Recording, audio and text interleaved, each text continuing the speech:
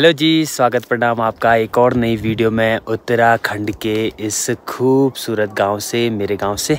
और अभी लगभग शाम का टाइम हो रहा है और साथ ही साथ स्वागत है आपका एक और खान पान वाली वीडियो में। तो बहुत दिन से आप लोग बोल रहे थे ना कि कोई खान पान वाली वीडियो बनाओ परफेक्ट खान पान वाली। तो आज मैंने सोचा क्यों ना बनाया जाए बाकी आज हम लोग बनाने वाले हैं बिच्छू घास का साग। बिच्छू घास का साग। बहुत ही टेस्टी साग होता है और सेहत के लिए ना बहुत ही ज़्यादा बेनिफिशियल होता है। तो वो हम लोग बनाने वाले हैं। मेरे साथ है यहाँ पे मेरी छोटी बहन रूबी और इसके हाथ में देखो टोकरी हो गया और एक दराती है और ये रिंगाल का एक छोटा सा लट्ठी है, देखो आप, लकड़ी है। तो इन सब चीज़ों से उसको निकाला जाता है मतलब इन दो चीज़ों से उसको निकाला जाता है और जो ये टोकरी है, इसमें रखना है। और बिच्छू घास मैं बता दूँ कि ऐसे होती है, ये देखो आप। ये देखो, और अगर गलती से ऐसे ही हाथ इस पर लग गया ना मतलब ऐसे ही तो इसका झंझनाहट लगभग ना मतलब चार पाँच घंटे तो वैसे ही रहता है। पहले तो मतलब बोलते हैं वैसे चौबीस घंटे तक रहता है, और फिर छोटे छोटे दाने भी हो जाते हैं। और इसका बहुत ही टेस्टी साग बनता है भाई, और आजकल सर्दियों के टाइम पर तो बहुत ही ज़्यादा बढ़िया होता है सेहत के लिए। और साग बनाना मेरी छोटी बहन हो गया और मम्मी को बहुत अच्छे ढंग से आता है। मुझे वैसे बनाना नहीं आता है और निकालना भी नहीं आता है। सबसे मेन काम होता है भाई बिच्छू घास को निकालना। तो वो काफ़ी टफ होता है। तो बाकी ये निकालेगी और मैं शूट करूँगा। ये देखो कुछ इस तरीके से ना, इसको मतलब इसके बीच में अपनी उंगली फंसानी पड़ती है। और फिर देखो आप कैसे। ये देखो और फिर जो ये कंडाली है ना, जो ये बिच्छू घास है, इस पर इसको लगाना पड़ता है। ये देखो आप लोग, और फिर इसको ऐसे काटना है। ये देखो, और और इसमें ना धीरे धीरे इसको भरना पड़ता है, यहाँ पे देखो आप। और धीरे धीरे भर भर के मतलब इतनी हो जाएगी, और फिर इसको टोकरी में रखा जाएगा चल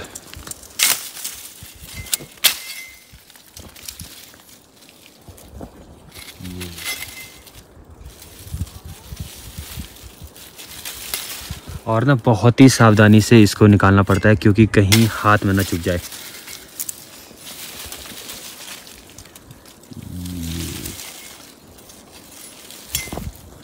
ये देखो। हाँ और इसके कांटे चेक करो आप। कैसे कांटे हैं इस पे भाई साहब? चल और इसमें भी दो टाइप के होते हैं। एक तो ऐसी वाली है, जो आपको मतलब साफ़ सुथरी लग रही है, और एक ये वाली होती है। ये देखो, ये वाली भी बिच्छू घासी है तो इसको नहीं निकालते हैं। जो थोड़ा सॉफ्ट सॉफ्ट होती है ना मतलब जो दिखने में भी एकदम सही होती है, जिस पे कीड़े नहीं लगे होते हैं। जैसे ये वाली है ना तो ये मतलब ऐसे है कि बड़ी हो गई है ये। काफ़ी बूढ़ी टाइप की हो गई है। तो इसको नहीं निकालते हैं। जो मतलब साफ़ सुथरे जैसे दिखेंगे ना, जैसे यहाँ पर देख सकते हो, ये हो गया। और यहाँ पर देखो। तो ऐसे कुछ निकालना है और इनको इसमें भरना पड़ता है। तो अभी यहाँ तक भरेगी इसको ये। ये ऐसे। ऐसे कुछ निकाला जाता है भाई।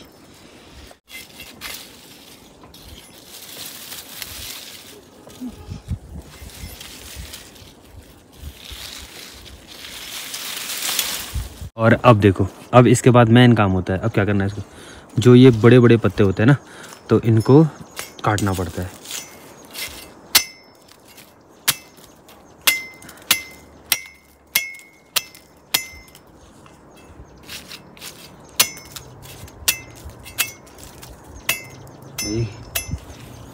और ये देखो अब। तो मेन हमारे यहाँ इसका साग बनता है। जो मेन ये है ना, इसका साग बनता है। और ये हमने इसमें रखना है बस। तो मेन इतना है। और जो उसके पत्ते हैं, उसको फेंक देते हैं। बहुत जगहों मैंने ऐसे भी देखा है कि पत्तों को ना वैसे ही खाते हैं। मतलब बहुत अलग जगह अलग ढंग से बनाया जाता है और हमारे यहाँ इस तरीके से बनाया जाता है। कि मतलब इसके जो बड़े बड़े पत्ते हैं ना, थोड़ा वैसे बचा रखे हैं वैसे देखो आप बट जो मेन बड़े पत्ते हैं, उनको निकाल देते हैं, उनको हटा देते हैं। अरे, इस साइड देखोगे आप तो लगभग जितने भी पत्ते हैं ना, ये सब बिच्छू घास के पत्ते हैं। यहाँ पर हो गया, यहाँ नीचे साइड यहाँ पर, और सामने देखो यहाँ पर तो ये लगभग यहाँ पूरा बिच्छू घास ही बिच्छू घास है। और ऊपर में देखो हमारी बाबा जी भी यहाँ पे कंडाले निकाल लिए। देखो बड़े बड़े पत्ते सब काटने हैं। फिर इसको ऐसे करके इसमें डालना है।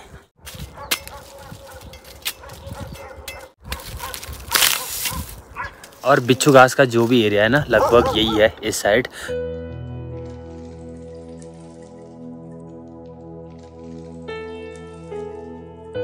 और हमारे पहाड़ों में ना, जो बिच्छू घास होता है, वो लगभग राती के टाइम पे बनाया जाता है। मेनली ज़्यादा राती के टाइम पे बनाया जाता है।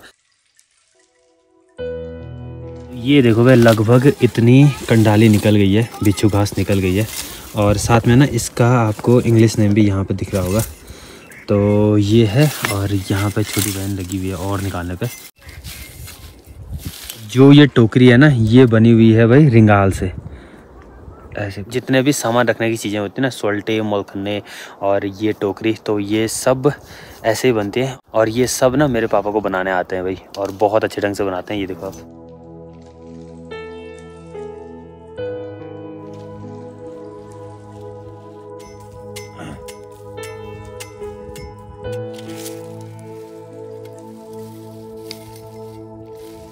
साइड तो जितना भी बिच्छू घास था मतलब जो जो थोड़ा सॉफ्ट सॉफ्ट थी, वो लगभग निकल गई है। और अब इस खेत में से निकाल रहे हैं हम लोग यहाँ पे, देखो। पे देखो भाई, चाची जी भी गाय को अपने घर ला गई है। तो जैसे ही शाम का टाइम होता है ना, वैसे ही गाय भी घर आ जाती है भाई। यहाँ देखो, घर लाना स्टार्ट करते हैं लोग। तो चलो भाई फाइनली हमारी कंडाली निकल के रेडी हो गई तो ये देखो, इतनी हम लोगों ने कंडाली निकाली है। और और चीज़ भी इसमें पड़ती है। क्या क्या पड़ती है? पालक राई। अच्छा राई और धनिया। है कि नहीं? तो ये सब चीज़ें भी हम लोगों को निकालने और जो भी हमारे पालक और राई के खेत है ना वो हमारे नीचे साइड है मतलब गौशाला साइड है। तो वहाँ जाना है वहाँ से निकालना है।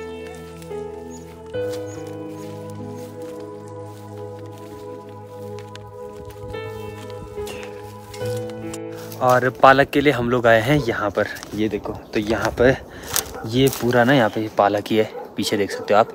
तो यहाँ पर से कंडाली तो वैसे निकल गई है। कंडाली देख सकते हो, कंडाली हम लोगों ने निकाल दिया है और अब निकालते हैं हम लोग पालक।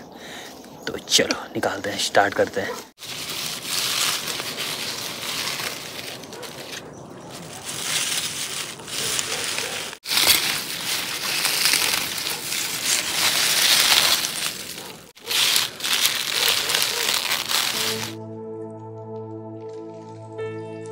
तो चलो फाइनली हम लोगों का पालक भी निकल गया है और अब धनिया।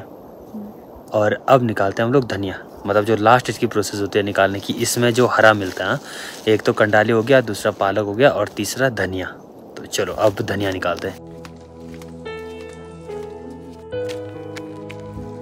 और यहाँ पे जितनी भी आपको ये खेत दिखाई दे रहा है ना, छोटी सी क्यारी तो यहाँ पे पूरा ये धनिया ही है। तो यहाँ पर से अब धनिया निकालते हैं भाई।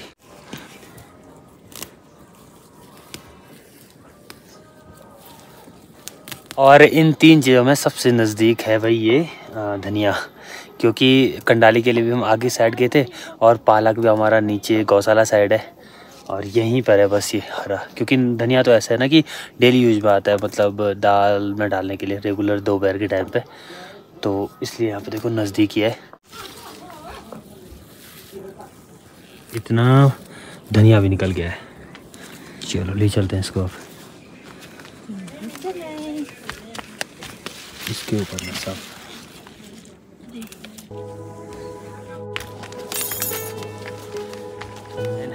तीनों चीज़ निकाल दिए हैं बिच्छू घास हो गया, पालक हो गया और हरा धनिया हो गया।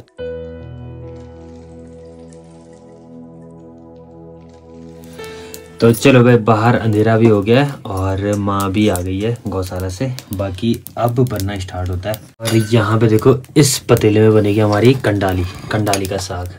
तो इसमें पानी रखा हुआ है, पानी और नमक। यहाँ पे हम लोग थोड़ा हल्दी हो गया और धनिया। और इसको पूरा गलाना है उसमें, ताकि उसके कांटे ना मुँह पे लगे ना। तो इस वजह से सब गलाना है। यहाँ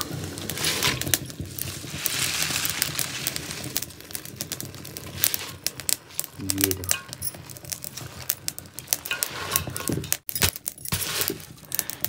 और ये देखो और सबसे खतरनाक ये वाली, बाकी पालक हो गया और कंडाली हमने यहाँ पे रखनी है मतलब तो पूरी रखनी है और इसको पूरा गलाना है, जब तक कि वो पूरा सॉफ्ट ना हो जाए।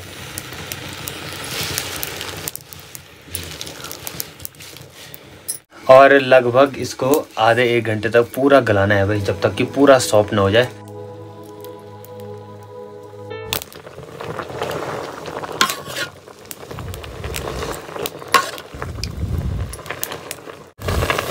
और अभी अभी देखो, भाई, अभी भी उसके कांटे दिख रहे हैं तो अभी इतना ज़्यादा गलाना है इसको, और टाइम टू टाइम चेक करते रहना है। तो अभी हमारा ये पहले टाइम हम इसको चेक कर रहे हैं तो अभी देखो इसके पूरे जो कांटे हैं ना, वो अभी दिखाई दे रहे हैं पर इस साइड तो उनको पूरा गलने देना है अभी, ढंग से। फिर हम दूसरी बार इसको खोल रहे हैं तो अब लगभग ये गल गया है। मतलब गल नहीं रहा है लगभग।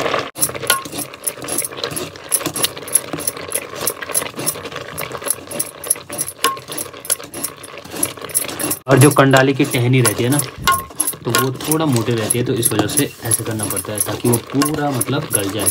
पूरा। तो चलो गए और इसके बाद ना यहाँ पे आटे का पेस्ट बनाया पड़ती बनाना पड़ता है। बेसन का भी बना सकते हो, और उसको पूरा ना उसके साथ घोलना है। तो यहाँ ऐसा होता है भाई।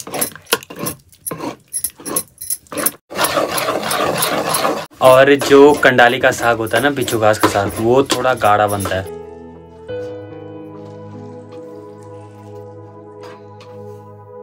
अभी इस पर तड़का भी नहीं लगाया भाई तो तड़का भी एक अलग ही स्टाइल में इसमें लगाया जाता है। अभी तो थोड़ा टाइम बचा हुआ है इसमें तो जैसे ही उबलता है ना, उसके बाद इस पर तड़का लगता है। उसके बाद सबसे इम्पोर्टेंट थिंग जो लाल मिर्च है ना मतलब सूखी हुई लाल मिर्च तो उनको भुना जाता है। तो उनका स्वाद भी भाई अल्टीमेट आता है, बहुत ही टेस्टी और ये देखो भाई, अब ना ये पूरा देखो मस्त से गल गया है। और अब इसके बाद होती है तड़के की तैयारी। और इस पर इतनी प्यारी खुशबू आ रही है ना धनिए की हो गया, लहसुन हो गया, इसकी बहुत ही अच्छा और कंडाली की, और अब इसके ऊपर से धनिया भी पड़ेगा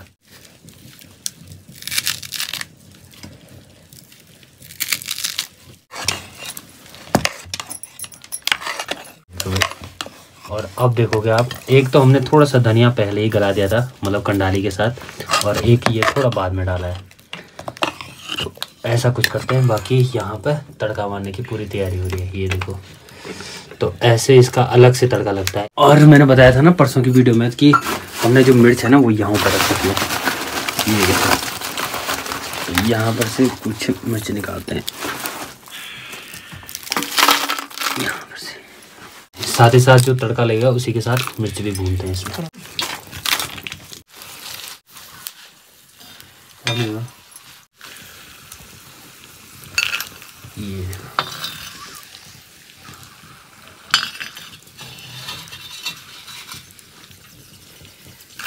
और जो ये लाल मिर्च होती है ना, ये स्वाद में भाई चार चाँद लगा देते हैं। इतने टेस्टी होते हैं। और इसके बाद लगता है भाई तड़का। ये देखो, ये माँ के हाथ में है। सरसों के बीज का तड़का जो कि सबसे इम्पोर्टेंट है।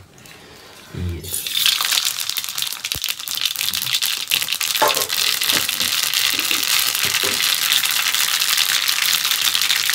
और ये तड़का सबसे बेस्ट है भाई। सबसे मतलब जो स्वाद देता है ना, वो ये तड़का देता है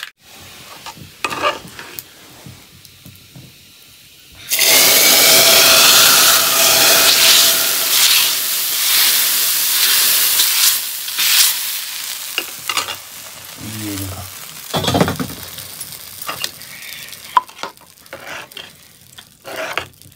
आह। और अगर ये अब कोई खा लेना आह नेक्स्ट लेवल इतना ज़्यादा स्वादिष्ट होता है। अब तो इसका स्वाद से तो भाई साहब।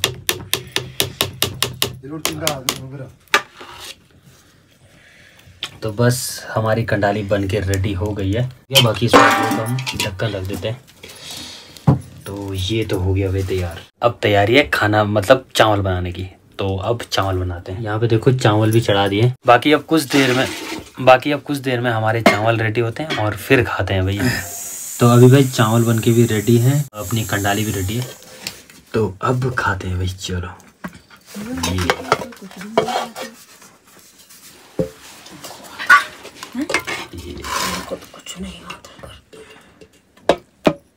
ये ये देखो बाकी यहाँ पर ये मिर्च। बस से अपनी थाली रेडी हो गई है। और भाई मुँह में तो इतना पानी आ रहा है ना ओए होए होए। क्या बताएँ? एक्साइटेड बाकी खाना खुना खाते हैं? चलो खाना खाते हैं और फिर मिलते हैं आपसे। और ये मेरी माँ ने बनाया है। स्टैंडल वाली कनाली स्टैंडल वाली कनाई। फाइनली खाना भी कंप्लीट हो गया है और काफ़ी मस्त हावे बना हुआ कैसा बना हुआ अच्छा। बढ़िया। बहुत ही अच्छा था बना रहा और आई होप आपको ये वीडियो पसंद आएगी। और वैसे ना मैंने सोचा है कि महीने में एक दो दो तीन लगभग परफेक्ट खान पान वाली वीडियो होनी चाहिए क्योंकि सही रहता है मतलब खान पान पहाड़ों का खान पान दिखाना। बाकी आई होप आपको ये वीडियो पसंद आएगी। वीडियो पसंद आए वीडियो को लाइक करें। लाइक ज़रूर करें। और अगर आप चैनल पर नए हो तो चैनल को सब्सक्राइब। सब्सक्राइब ज़रूर करें। बाकी मिलते हैं आपको अगली किसी नई वीडियो में। तब तक के लिए हँसते रहिए मुस्कुराते रहिए और अपना ध्यान रखिए। बाय बाय हे बिल्लू अपना ध्यान रखो